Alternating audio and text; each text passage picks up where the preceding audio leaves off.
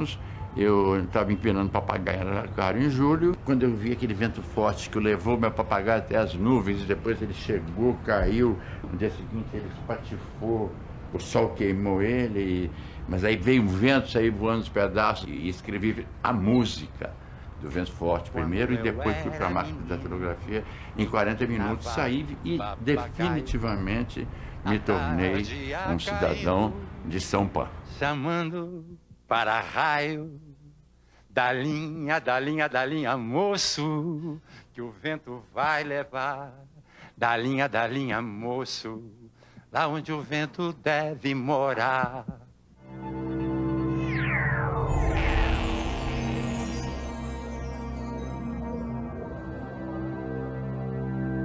A oficina começou no ano de 1958, na Faculdade de Direito lá com São Francisco.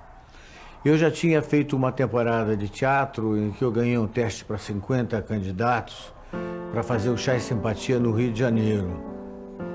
E voltei porque prometi para minha família que eu ia terminar a faculdade de Direito. Então, continuei frequentando e nesse ano eu conheci um jovem tímido, de gravata, sobretudo, que era o Zé Celso Martinez Corrêa, de uma timidez incrível. Conversávamos sobre literatura, sobre poesia, Teatro, ele sabia que eu gostava, porque eu já tinha feito uma temporada profissional no Rio de Janeiro, né? Eu acho que empolgado com isso, ele escreveu uma peça que se chamava Vento Forte para um Papagaio Subir, que tinha tudo a ver com a temática do nosso tempo, que era o rompimento com os valores da classe média. E ele até fez uma música que era uma bandeira para gente, era linda, era assim. Eu hoje vou fugir com vento, vou até o firmamento, vou ver a terra brilhar, vou abrir bem os meus braços, me lançar por esse espaço, aventar, aventar. Era o que nós queríamos, realmente, né? Sair por aí. O grupo quis montar exatamente essa peça nesse lugar, onde tinha um teatro espírita, que tinha caveira de burro, diziam. Nada que fazia lá dava certo. Mas não sei o que aconteceu. Nos três dias que nós fizemos essa peça, alugando do Teatro Novos Comediantes, que era um teatrinho pequenininho, e durante esses três dias houve uma paixão. Acho que nós nos apaixonamos pela caveira de burro do teatro e a caveira de burro do teatro nos escolheu. E aí né, foi fundado o Oficina Amador, o Vento Forte para Papagaio Subir foi a primeira peça, junto com a ponte do Carlos Queiroz Teles. Depois a Celso escreveu a Incubadeira, ainda amador. Fizemos as moscas do Sartre, fizemos umas, algumas peças como teatro amador, até que resolvemos profissionalizar em 1961. Aí daquele grupo enorme que tinha oficina na faculdade, sumiu todo mundo. Ficamos eu e Zé Celso né? E fomos nos aliar a quem? A Etty Fraser, que também era uma sonhadora com teatro, etc. E começamos a formar um grupo que foi o primeiro grupo de teatro oficina profissional. Era professora de inglês e eu sempre me interessei muito por teatro. Tinha uma classe que eu gostava demais, na Ofélia Fonseca. E eu falava muito de teatro. Então um dia tinha uma menina muito inteligente, namoradinha de Renato Borg. E ela me disse: Você quer assistir uma peça de teatro amador que os meus amigos estão fazendo num teatrinho lá na rua Jaceguai chamado Novos Comediantes. E fui ver a peça. A peça era Vento Forte para Papagaio Subir. E a ponte, e eram, eram as duas peças. E eu fui ver a peça. Quando terminou, eu fiquei tão entusiasmada com, aquelas, com aqueles jovens que eu subi ao palco. Eles eram eles deviam ter uns 19, 20 anos e eu já tinha 27. Eu era uma bem gorda, né? Era uma senhora, né? Aí eu cheguei, fui cumprimentar, cumprimentei o, o, o autor da peça, cumprimentei o diretor, cumprimentei todo mundo. Aí o, o autor virou-se para mim e disse assim: Você não quer fazer um teste para fazer uma peça que eu tenho que apresentar daqui a um mês ah, no, no, segundo Festival de Estudantes de Santos. Falei, como fazer um teste? Sabe se eu sei representar? Não, mas pelo que você fala de, de que você fez teatro do colégio na Inglaterra, você deve pelo menos saber o beabá. O autor dessa peça era José Celso Martinez Corrêa. E foi assim que eu fui fazer o teste no dia seguinte e eu consegui o papel da mãe da peça Incubadeira. Aí um mês depois estreamos em, em Santos, ah, no teatro, no, no Cine Independência, e eu ganhei o prêmio de melhor atriz. Zé Celso ganhou o prêmio de melhor autor e o Amiradade. Aí o Amiradade ganhou o prêmio de melhor diretor. Em 1960, quando o Sartre veio ao Brasil, a gente pediu a ele os direitos sobre um roteiro de cinema, que era a engrenagem, que era, era a história de Cuba, né? Um cara que faz uma república socialista e começa a receber visita de embaixadores da CIA, etc. A peça era isso. E nós pedimos a ele os direitos e ele gentilmente cedeu gratuitamente para que nós fizéssemos uma montagem teatral. Fizemos no Teatro Bela Vista e depois quisemos fazer em praça pública. Escolhemos o monumento do Ipiranga, ali em frente ao Museu do Ipiranga, o monumento da Independência. Quando nós começamos a representar, fomos impedidos pela polícia. Então eu me lembro que a gente se amordaçou e ficou em frente ao monumento amordaçado por um tempo, né? Isso ainda no Teatro Amador, né? Tudo isso foi um período de muita conscientização, acho que para mim, para o Zé Celso, do abismo que havia entre as classes sociais, da luta que precisava haver para se criar algum avanço nesse tipo de realidade. Né? Eu acho que com a engrenagem a gente decidiu que ia fazer um teatro participante das lutas sociais do nosso tempo. Aí nos formamos na faculdade e a primeira coisa que nós fizemos foi agora temos que nos profissionalizar, foi alugar esse lugar do senhor Cocosa, que era um italiano que cantava ópera. Era um teatro espírita. Era o teatro espírita dos espíritas que foram expulsos por falta de pagamento. E a gente alugou o teatro pensando que estava alugando um teatro. Mas quando nós entramos, os espíritos tinham levado o palco, a plateia, tinham levado tudo, ficou um garajão, chão de cimento batido, e era preciso construir um teatro ali dentro. Aí nós ficamos apavorados, né? Como é que nós vamos fazer? A gente vai ter que estrear tudo, né?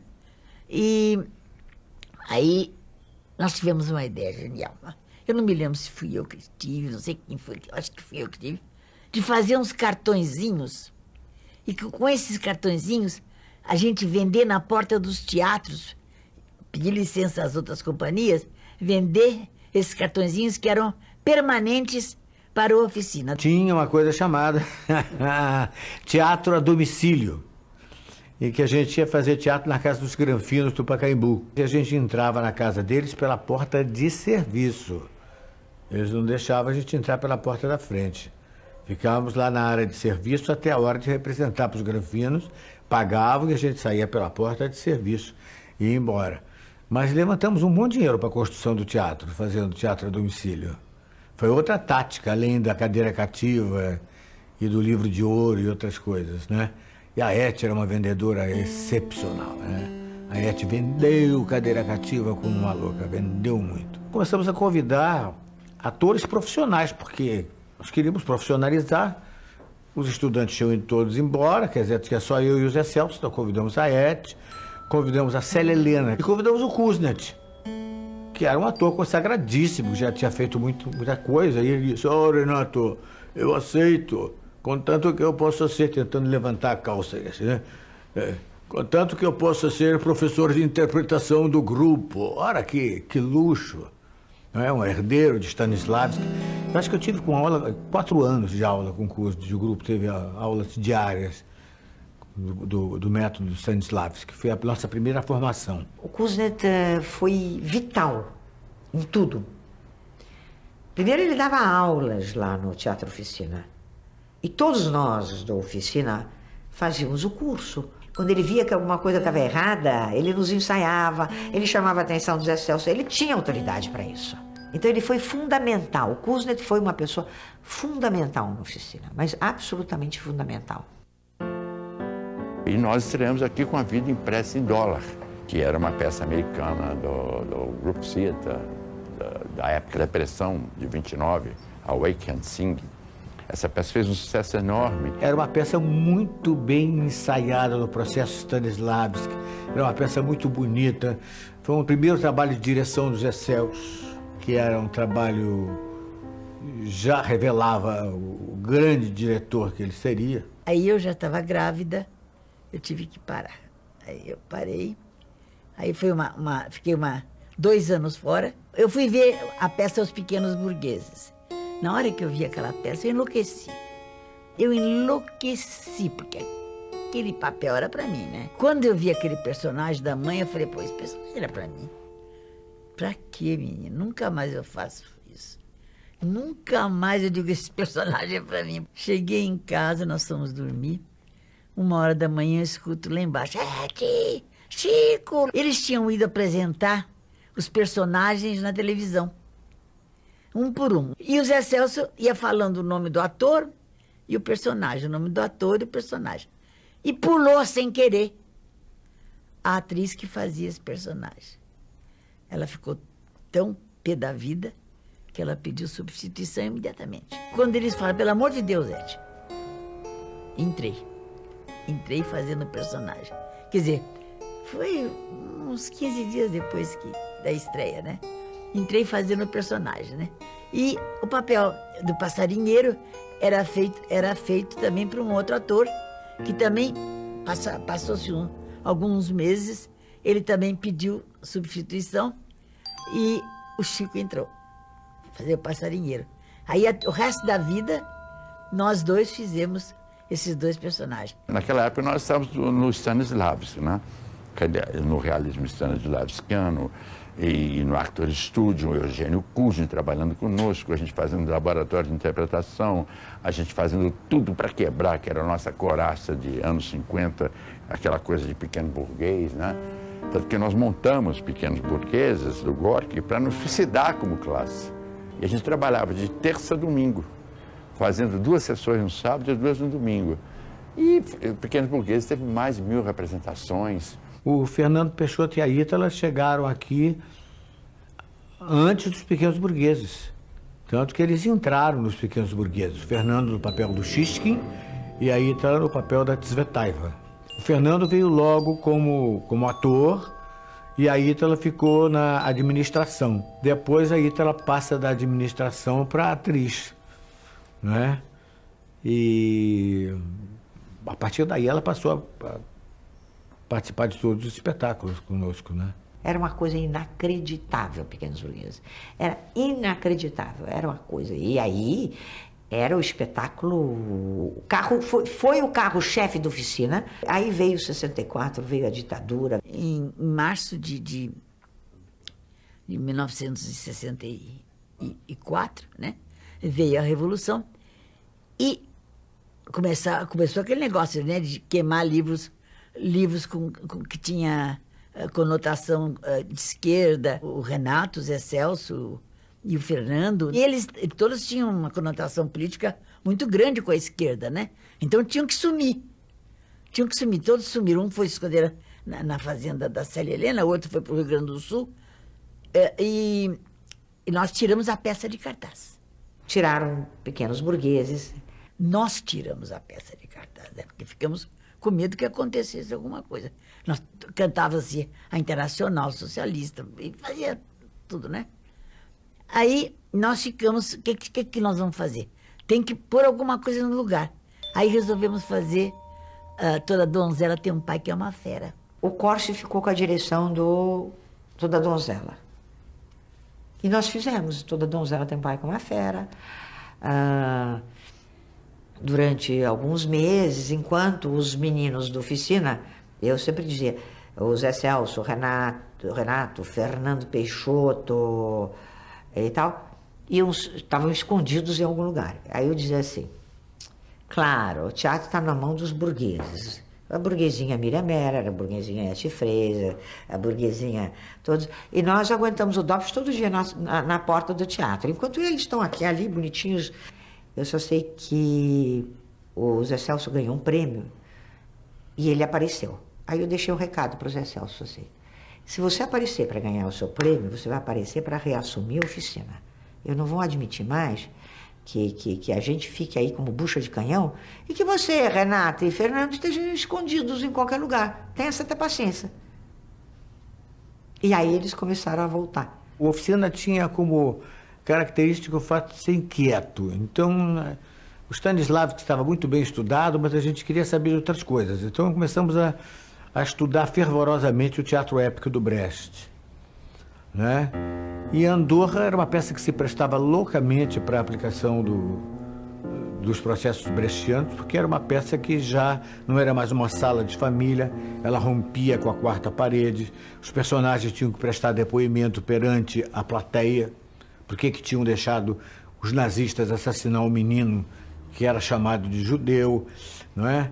E era uma peça que foi escolhida também, que é uma característica da oficina, para continuar o diálogo com a nossa plateia sobre a realidade que a gente está vivendo.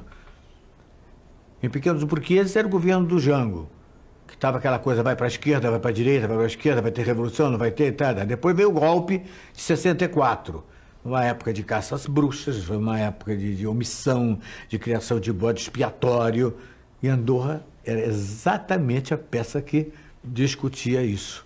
Onde você estava escrito judeu, você podia ler comunista, esquerdista, socialista, o que você imaginasse. E a plateia estava treinada em metáforas. No Andorra também Aí tinha os laboratórios, os famosos laboratórios, né? É, é. teve um laboratório terrível que a Miriam, a Miriam Meller era currada pelos soldados, né? Ele falou assim, Miriam, venha hoje com sua cena, com suas roupas mais velhas. Mas ele não me falou por quê. E eu vim. E a Célia fazia a mãe dela, ficava do lado de fora assistindo, né? Aí ele me botou na arena também, na, na semi-arena, junto com dois, três tipo figurante. E não havia medo de sair, esse, essa cena não saía, não saía. E ele resolveu fazer uma curra comigo. Eu não sabia, eles iam me currar. Eles só não chegaram às vias de. E eu gritei, eu fiquei três dias de cama depois disso. Eles só não chegaram a me currar de fato, porque a Célia Helena chovia naquele dia, ela estava com guarda-chuva, ela desceu lá no meio da arena e começou a bater nos meninos. O negócio foi tão violento que a Célia entrou em cena e quebrou um, uma espingarda. Eu fiquei com tanto ódio, mas é ódio é a palavra, né? Quer dizer, com, com tanto. Eu nem sei, eu chorava, eu gritava, eu berrava, eu. Que o Zé Celso pegou e falou assim: botou todo mundo na arena da cena e falou: façam a cena. Eu tava de gatinhas de joelhos, e de joelhos eu fiquei. Nunca mais a cena foi modificada. Eu era aplaudida todo dia em aberta, todo dia. Porque a memória emotiva era uma coisa tão forte, tão forte, tão forte. Porque nessa cena que eu era chamada de puta de judeu, puta de soldado, puta de não sei o que, que queriam acabar comigo. Começou aquele, aquele momento político difícil de, do, do, do, golpe de 64 não bastar para os militares e os grupos paramilitares pressionarem por uma por um golpe. E começaram a tacar fogo em tudo, ameaçar tacar fogo em todos os lugares. Tacaram fogo na Bandeirantes, tacaram fogo aqui na oficina. Eu estava em casa com meu marido, toca o telefone, era um, um posto de gasolina que tinha na, na frente da oficina, seu teatro está em chamas. Aí pegamos o carro, viemos meia também, chegamos a tempo de ver a parede fazer assim e o teto cair. E destruiu tudo. Até hoje a gente não sabe se, se foi um incêndio provocado. Porque como depois eles invadiram teatros, quebraram pernas de pessoas, bateram, ameaçaram de morte, fizeram coisas terríveis com o avançar da ditadura, por que não né, incendiar o Teatro Oficina, que era um, um foco de resistência? Com o incêndio do Oficina, a gente fez uma temporada retrospectiva dos grandes êxitos da Oficina no Rio de Janeiro, não é? E lá nós tivemos nove meses de Maison de France lotada. Nessa época a gente fez com o Luiz Carlos Maciel um laboratório muito importante. Era um laboratório pelo gesto social, que a gente procurava o gesto do brasileiro operário, do brasileiro bancário, do, do, do, do enfim, do, do, pai de família, da dona de casa, do banqueiro, do bancário, das pessoas que ficam na fila de ônibus. Isso aí deu uma enorme vontade de fazer um texto brasileiro, de falar a língua brasileira, não uma tradução. Nós queríamos falar um texto nacional, né? O Luiz Carlos Maciel falou sobre o, o Rei da Vela, ninguém conhecia. Um dia eu achei na estante da minha casa um livrinho com as páginas bem amareladas, comida de traça, e li e fiquei espantado, como até então ninguém conhecia aquilo, né? Eu li para os meus companheiros de grupo, o Fernando e a Ítala se empolgaram imediatamente, e o Zé Celso ficou um pouquinho receoso. Falou, não, acho meio panfletária, ah, não sei, tem uma literatura desorganizada, não, não é uma coisa, não era parecido com as coisas que a gente tinha feito até ali, que eram obras-primas da, da literatura. E essa peça do Oswaldo era uma peça cubista, ela tinha, ela tinha uma outra, uma outra organização. Né? E eu propus então fazer a leitura da peça em sindicatos, clubes, apartamentos de amigos, e eu lia todos os papéis.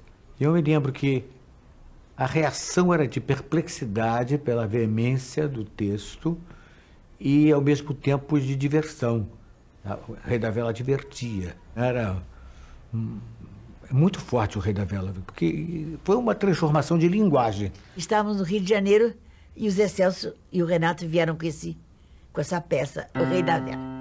Eu achei aquilo um horror. Quando o Zé Celso começou a falar em fazer o primeiro ato, circo, o segundo ato, uh, teatro de revista, o terceiro ato, ópera, aí a gente começou a pirar. Realmente aquilo foi. E começaram a aparecer as primeiras roupas e, e começaram a dizer para a gente: olha, foi, foi, foi realmente um, uma virada. Nossa, embarquei completamente. Ah, menina, imagina, apareci pela primeira vez na minha vida gordinha daquele jeito, de, no, no maiô de veludo, com as pernas. Era uma avacalhação mesmo, mas era muito, muito, muito. Essa exuberância que tinha a peça, esse, pra gente era uma coisa muito maravilhosa.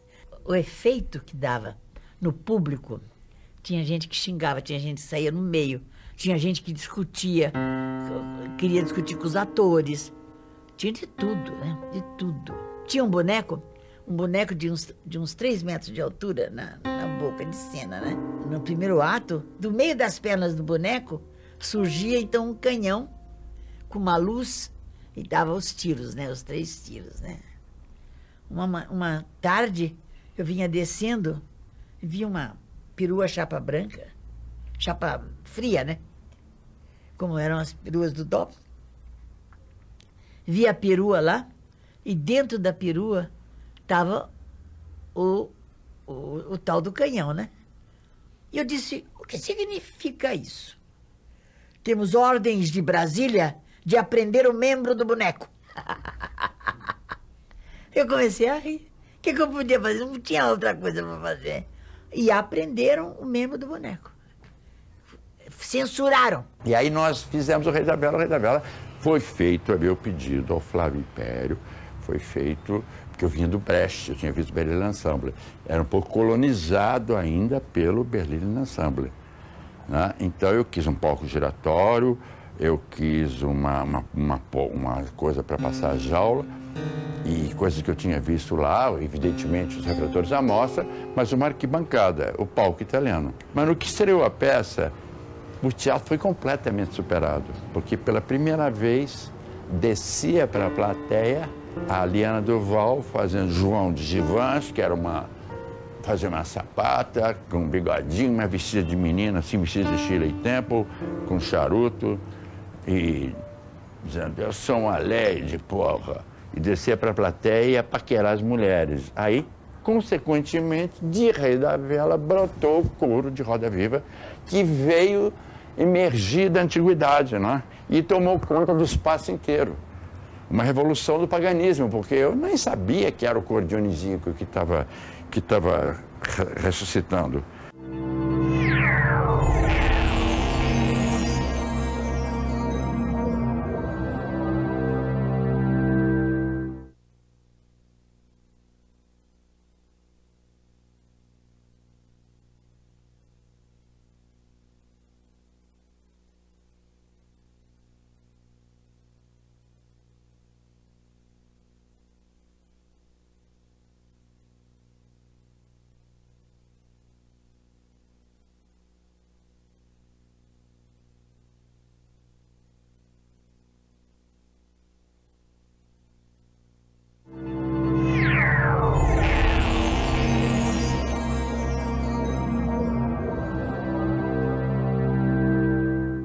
E Nancy, nós, nós ganhamos lá em Nancy o direito de apresentar a peça em Paris, no Teatro Aubervilliers de Paris.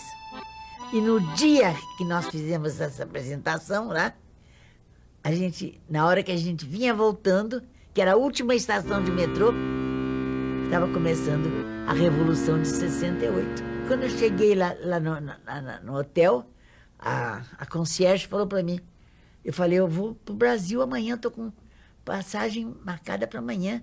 Ela disse que é um conselho de amiga, vai já. Não espera amanhã, porque amanhã não vai sair nada. Vai já para o aeroporto.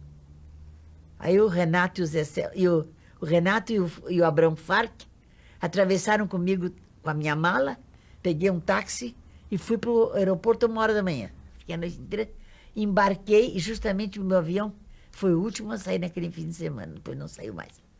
E aí ficaram todos presos em Paris. Demorou uns, um, bastante tempo até eles conseguirem voltar para o Brasil, né? Aí o Gesselso passou pelo Rio de Janeiro, já veio com a ideia de fazer Galileu Galilei, já trouxe uma turma do Rio de Janeiro que eu não gostei, nem eu nem Chico. Eu estava cansada, estava muito cansada, e eu pedi para eles para me afastar, e aí eu não voltei mais. Aí eu, eu, ainda, eu ainda assisti Galileu Galilei, achei maravilhoso. Na Selva das Cidades, para mim, foi um dos espetáculos mais lindos que eu já vi na minha vida. Eu ainda, fui, ainda vi Galileu e, e, na Selva das Cidades, e depois aquela segunda fase, aquela no... O que aconteceu na época do Galileu foi o ato institucional número 5, o famoso AI-5, que foram suprimidas todas as garantias constitucionais do, dos cidadãos, né? a ditadura fechou, tudo estava proibido, muita gente foi presa, muita gente morreu. Nós precisávamos falar disso. E a peça Galileu era uma luva, porque falava exatamente da violência da igreja, do poder da igreja, sobre o trabalho intelectual daquele homem que confirma que a Terra não é o centro do universo, que ela gira em torno do Sol, e ele tenta levar essas ideias ao clero e acaba sendo ameaçado de tortura, sendo ameaçado de ser queimado vivo, etc. Né? Montamos 13 dias. E montamos sabendo que a peça ia ser um sucesso. Só que com os padres da Inquisição vestidos com fadas militares e o coro invadindo, mas sem poder se comunicar, porque tinha uma grade na frente que abriu o espetáculo e era proibido olhar para o público. Só que a gente de vez em quando desobedecia, aí a polícia chamava.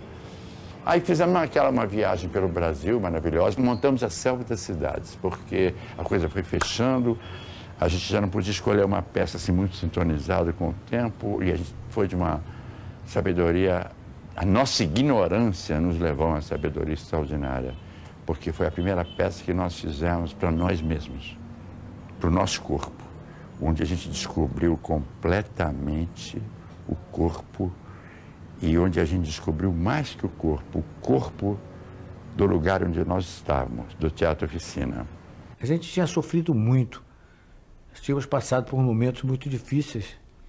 E a selva foi um momento em que a gente se deu o prazer de falar da gente, sobre o que se passava com, com as pessoas que estavam lá dentro trabalhando, né? Era uma luta de opinião entre dois homens que um queria comprar a opinião do outro e o outro não vende. E aí isso trava uma luta de morte que destrói casa, família, tudo. Era uma, uma peça que até as últimas consequências assim do, do poder econômico sobre o mais pobre, e o mais pobre sai vencendo porque quer liberdade, mas sacrifica tudo. Nessa época já tínhamos passado do Brecht para o Grotowski. Então, a gente queria fez laboratórios achando que estava fazendo Grotowski. A gente conhecia de livro, mas não tinha a menor ideia de como é que era um laboratório do Grotowski, nem como é que o Grotowski trabalhava. Eram os livros que a gente lia e ficava nós, então nós criamos uma linguagem própria e criamos uma série de recursos nossos belíssimos. Quando a, gente, a Lina Bade veio, instalou um rink de boxe no meio da, da arquibancada, botou uma arquibancada popular no palco, deixou outra arquibancada de pedra e os atores iam destruindo aquele ringue. A Lina Bard pegou as árvores que tinham sido derrubadas para se fazer o minhocão e botou em cena, entrava em cena, tinha vários maquinistas, e eles traziam com fio de aço uma cena chamada aquela, aquela porrada, área verde. Entrava a Lotilena cantando Setembro Song, aí está a Nandi de preto e o Otton Bastos, e ela, eles transavam e ela exigia que ele pagasse ela. E entrava área verde, um gangster, o Flávio Santiago jogava um pouquinho de verde, mas entrava aquelas toras. Quando acabava a cena, aquelas toras milagrosamente ruíam e ficavam no lixo. Teve uma crise. Ninguém sabia o que montar. Foi a época do Garrasta Azul Médici, guerrilha urbana começando. E a gente não, não achava o que fazer. Qualquer peça não nos parecia que pudesse abordar aquilo que estava acontecendo. Nós tínhamos passado pela Europa, tínhamos convidado o Living Theater para vir ao Brasil, eles vieram, ficaram aqui, nós não tínhamos como receber, eles foram todos para o meu apartamento de quarto e sala, eu saí, ficou 20 pessoas amontoadas lá, o convívio com o Living, a leitura dos roteiros do Living, uh, tudo que se tinha escrito sobre o livro, tudo isso nos influenciou muito. E a gente decidiu fazer, então, um roteiro que se chamou Trabalho Novo, e sair para uma viagem pelo Brasil inteiro até Manaus. Em Brasília foi o lugar onde melhor se realizou. Foi uma coisa muito bonita, foi muito legal, mas eu fui um elemento dissidente, de, discordante de, de certas técnicas. Já era, graças ao senhor, por exemplo, de dizer que a carteira de identidade, a, a, carteira de trabalho eram os nossos números e era, portanto, a nossa coraça, era o nosso lado pobre, né, aprisionado na numeração burocrática e querer que as pessoas queimassem no espetáculo as suas carteiras. Eu dizia, gente, isso não pode ser, porque amanhã ele vai ter que tirar outra, ele não consegue trabalhar sem isso. Compreende? De repente, querer que alguém venha participar, a pessoa não vem, então pegar a pessoa e dizer, sabe, você coraça, você está morta, você está morta, você está morta. Isso é fascismo, isso é, me parecia que tinha atitudes muito, é, muito violentas. Eu comecei a discordar, aí comecei a discordar mesmo. A ruptura veio um pouquinho depois das Três Irmãs, né? Porque, graças ao Senhor, foi proibido para todo o território nacional. Foi aí que se escolheu fazer um clássico para disfarçar aquela mirada do exército em cima da gente, né? As Três Irmãs fizeram um ensaio, um ensaio bonito. Quem viu a peça disse que era um espetáculo lindíssimo. Ele tinha muitas coisas assim de herança daquela fase meio mágica. E as pessoas dizem que o espetáculo é encantador, mas eu fiquei uma semana só. Porque no dia 31 de dezembro de 72 para 73, na mudança do ano, né? O Oficina fez um espetáculo das Três Irmãs de comemoração de passagem de ano. E eu fiz o primeiro ato, quando eu fui fazer o segundo ato, fui trocar de roupa, eu ouvi a, a plateia uma, uma coisa estranha, que era corrente firma! e tal, é um candomblé desgraçado, todo aí ouve Celso, corrente, firma! Aí quando eu cheguei, encontrei a plateia completamente possuída, alucinada, que era uma coisa do Graça Senhor, era uma coisa de, de né, uma pesquisa que interessava demais a ele, e ele não queria abrir mão, mas não era a hora de fazer aquilo. Né? Então, estávamos no meio das três irmãs. Eu olhei bem no meu camarim, olhei para minha cara, falei: Você acredita nisso? Não. Você acha que isso vai mudar? Não. Você tem vontade de continuar com isso, Renato? Não. O que, que você quer fazer? Sair vai ser difícil, né? Porque nós estamos sendo olhados com muita desconfiança do lado de fora, não só como anarquistas, drogados e etc. Tenho muito medo, mas eu vou fazer como Jorge Garga. Eu vou pagar pela minha liberdade, eu vou sair. Então eu botei minha, minha roupa de rua, fui até o meio do palco, parei com o candomblé e disse, olha Zé, por aquela porta que eu entrei há 11 anos atrás, estou indo embora. Eu não acredito nesse tipo de coisa que você está querendo fazer. Eu respeito, mas não, não é a minha. Eu acho que o personagem existe, a fábula existe, o dramaturgo existe. Eu acho que o teatro não morreu. Então eu acho que realmente nesse momento não estamos tendo condição mais de parceria. Eu vou procurar a minha vida, vou fazer o teatro que eu acho que eu acho que devo fazer. Estou indo embora, boa sorte. E fui embora mesmo, fui embora, fui embora para sempre. Fomos exilados, né? fugimos, fomos exilados, fui torturado, fomos para Portugal, fomos para Moçambique, filmamos, trabalhamos, Londres, Paris, veio a abertura, nós voltamos e a primeira coisa que fiz fomos, foi abrir uma janela aqui embaixo.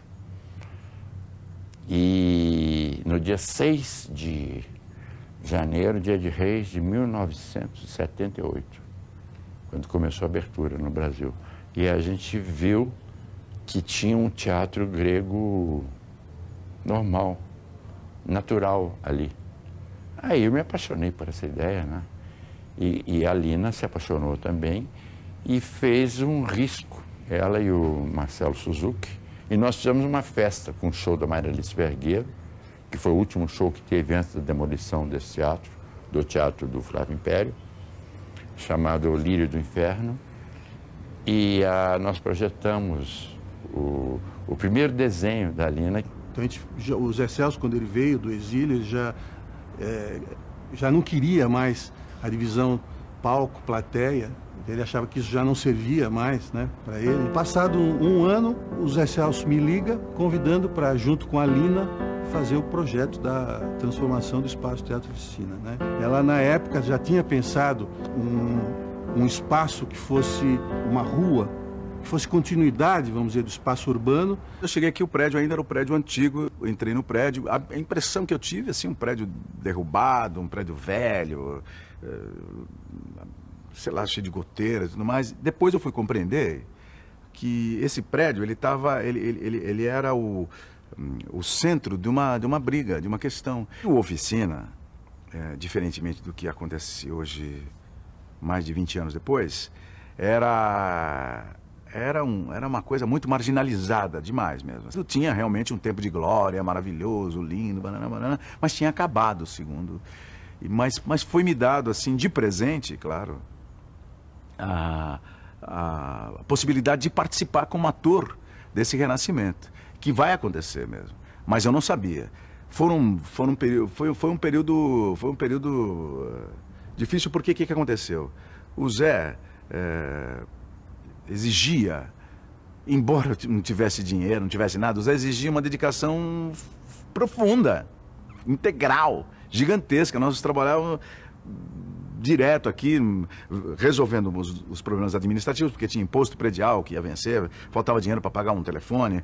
E era acreditável que eu tivesse ficado louco, que eu tivesse destruído o teatro. Nossa, uh, lendas e lendas e lendas e lendas, não é? Mas ele foi construído ao mesmo, exatamente com a com uma engenharia que a Catarine Reche, que é a nossa conselheira das conselheiras, nessa época nós fizemos juntos a reengenharia da usina Zona. Aí eu vim para cá, o Zé chamou a gente para uma reunião em que o direito de havia que tinha, tinha uma carta. O Zé falou: tem uma carta aqui do seu Cocós, o proprietário da coisa, oferecendo para a gente comprar o, o teatro oficina. Quanto quanto tem de, de caixa? Quanto tem no caixa? Ah, a menina fala, ah, tem lá, não sei quantos, tem, não sei. Aí eu falo, então vamos comprar o teatro. Ah, como que vai comprar? Eu já, tinha ouvido falar que, que o Zé Celso era louco e tudo mais, né? Eu falei, caramba, esse cara é louco mesmo. Aí o Zé falou assim, onde é que tem, onde é que tem dinheiro? Eu falei, se tem dinheiro, no banco. Falei assim, onde é que está o dinheiro do Brasil? Ah, o dinheiro do Brasil está no Banco Central do Brasil, lá que fica o caixa, que é o, onde controla o fluxo de dinheiro e tal. Aí o Zé falou assim, então amanhã a gente vai buscar o dinheiro lá para comprar Ih, cara, o cara, o cara é louco mesmo. Aí vai pro Banco Central, chega no Banco Central e tem uma conversa lá. Tocando, que depois isso vai ser uma tradição do Teatro Oficina, porque o Teatro Oficina vai, vai incorporando, vai, vai de bacante, vai, vai gente com tambor, com música, com peito de fora, vai, vai, vai virar uma tradição de fazer isso, brincando e filmando isso, né? Vai para o Banco Central, chega no diretor do Banco Central e fala, ele fala, nós queremos o dinheiro para comprar a oficina. Aí ele fala, bom, o banco pode dar o dinheiro para vocês comprarem, é só vocês darem uma hipoteca uma coisa de valor no lugar, o banco empresta o dinheiro, vocês pegam os dólares para poder comprar o, o prédio. Aí o Zé falou, ah, então tá bom, nós temos, uh, a gente tem a história do Teatro Oficina, a luta contra a ditadura, que foi uma luta terrível, todos, todos os espetáculos que nós fizemos, Rei da Vela, Graça Senhor, toda a história do espetáculo do Teatro Oficina, essa é a nossa fortuna, tem as fotos.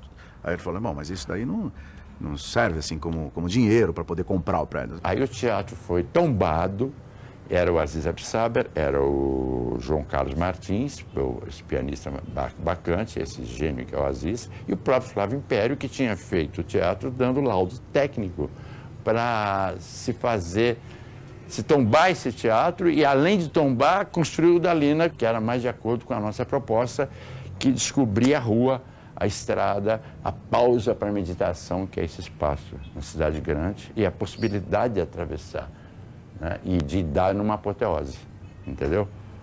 Aí o, nós fizemos o teatro, com, começamos a fazer o teatro, fomos derrubando, fomos fazendo, até que no governo Montoro e no governo estava o Zé Serra, que naquele momento desapropriou o teatro. O teatro foi tombado para que o teatro não fosse comprado pelo Valdo da Felicidade. O Zé fazia o seguinte, a gente fazia para a gente se instruir, para a gente entender o que estava acontecendo, a gente fazia leituras de peças. A gente leu bastante o Brecht, a gente leu uma peça, a importância de estar acordes, quer dizer, a importância de você, porque havia, porque a, a, a peça Acordes fala de um, um avião caído, cai um avião, e são chamadas pessoas para reconstruir esse avião. Aí as pessoas que vão reconstruir esse avião falam assim para os aviadores, falam, ó, é o seguinte, quando vocês estavam voando, vocês nem lembraram da gente, né? Voaram, voaram, voaram. Agora que caiu, vocês estão lembrando da gente. Agora, a gente vai construir esse avião. Mas quando voar, para vocês não esquecerem por que, que vocês estão voando. Para quem que vocês estão voando. E para onde vocês estão voando.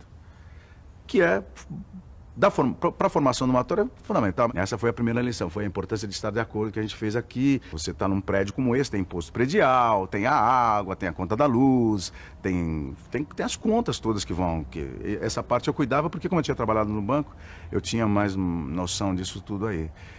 E mais para frente, e, e, mas ao mesmo tempo também é, perturbado com aquela coisa solitária, porque dava vontade para os grupos de fazer teatro com as pessoas, mas eu não eu não estava entendendo que isso já era uma direção, que isso já era um aprofundamento do, do, do trabalho. Depois, o Zé começa a estudar as bacantes, é a peça fundadora do, do teatro. E a peça, de certa maneira, orienta a arquitetura do teatro como estava se construindo o teatro, né? Então é, era necessário jogar dentro dessa estrutura uma orientação arquitetônica que fosse uma orientação artística, divina, esotérica, enfim, uma profunda. E essa orientação vem das bacantes, como tem aqui. Tem o, o fogo, tem a água, tem a terra, tem o céu. Então isso vai orientar. Então você hoje tem um teatro de piscina construído como, como um como um Fídias, como aquele, aquelas grandes construções gregas uma, uma, um tipo de construção é, orientada, não, não, não apenas pela. Quer dizer, orientada pela, pela matemática, orientada pela física, orientado também pelo, pelo esoterismo, pela religiosidade, orientada por, pelas várias correntes que fazem um pensamento. Não só um, uma, uma coisa utilitária. Essa peça que nós vamos fazer amanhã! Porque amanhã vai ter peça! Então nós decidimos fazer o Hamlet e foi o Hamlet que eu jamais pensaria fazer que abriu esse teatro. E eu passei o meu bastão, eu fazia o fantasma, Príncipe Hamlet, ao Marcelo Drummond, que segurou o bastão porque ele trouxe toda a geração dele lá. Veio a Julia Lemetz, veio o Alexandre Borges, veio o Pascoal da Conceição, veio a Leona Cavalli, veio a Denise Assunção, enfim, e fez um tremendo sucesso. Aí, a partir daí, choveu na nossa horta, né? Veio o Mistério de Boas Ordens, do Oswaldo de Andrade, que a gente tinha feito na Praça da Sé, depois fez aqui, veio Bacantes, que foi um sucesso, é um sucesso e será sempre um sucesso.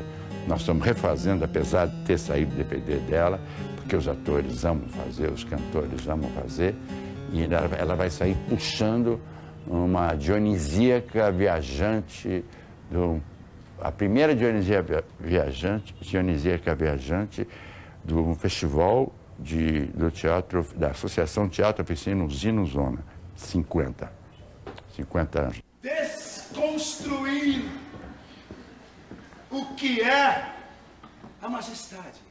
Essa construção vai dar muito trabalho, porque, pô, como é que vai construir fogo no meio da cidade? Vai, vai pôr água, uma cachoeira, que tudo isso vai dar muito trabalho com os arquitetos, com os engenheiros, então nem sempre dá muito. Isso vai ser discutido, nossa, a, entre, entre o governo federal, o Celso Furtado, Fábio Magalhães, e essas negociações, esses projetos, esses contratos, tudo mais, essa, essa, essa a parte meio de office boy disso foi eu, eu que vou fazer, que depois vai me dar, vai me dar bastante vai me dar bastante, muitos elementos para construir o Polônio, que no reino da Dinamarca é o, é o contador do rei. É. E, e, e na companhia do Shakespeare, Shakespeare o, o Polônio é o, é o caixa da companhia, quem paga os atores e tudo mais. Isso depois eu vou descobrir mais tarde, fazendo a, estudando a história disso. Já nas Bacantes, eu vou ser Cadmus, que vai ser o governador de Tebas, que foi quem viu a construção né, das torres. Eu não construí, mas eu vi a construção, eu paguei os empreiteiros com o dinheiro que vinha para cá, eu,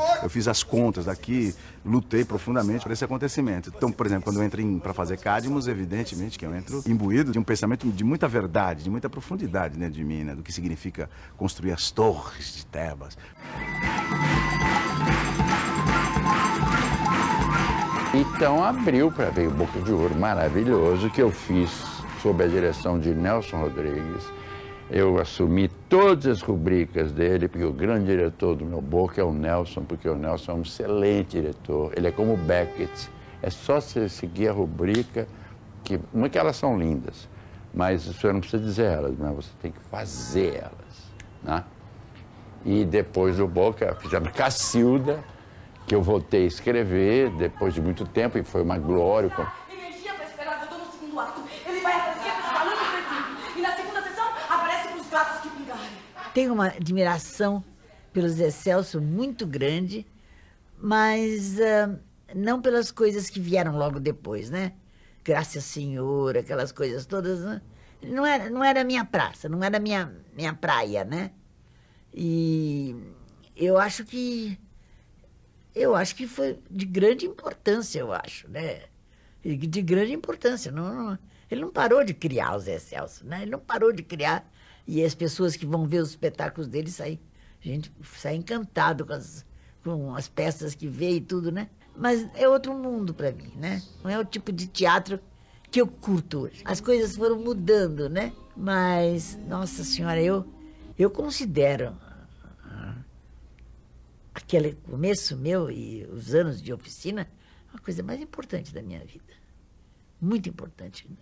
Considero o Zé Celso realmente um gênio. Eu acho que o Zé, tem uma coisa que eu, que eu, que eu, que eu vejo no Zé, o Zé se assume como artista, se entende como artista. E ele, e ele é compreensivo é, pelo artista que ele é.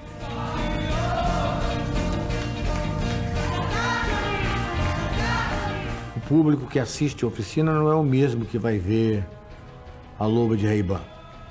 É um outro público, é um pessoal que sabe cantar a letra das músicas, sabe cantar as músicas da peça.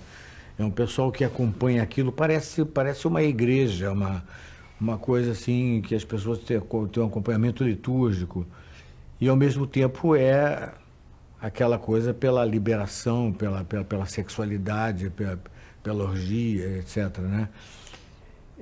Eu, eu acho que quando eu vi o primeiro espetáculo da oficina, depois que o Zé voltou, que ele ficou 20 anos sem fazer nada. Ele, quer dizer, fez muita coisa, foi para a Europa, trabalhou lá, fez o filme 25, fez uma série de coisas, voltou, montou o filme do Rei da Vela, mas tudo isso sem aparecer.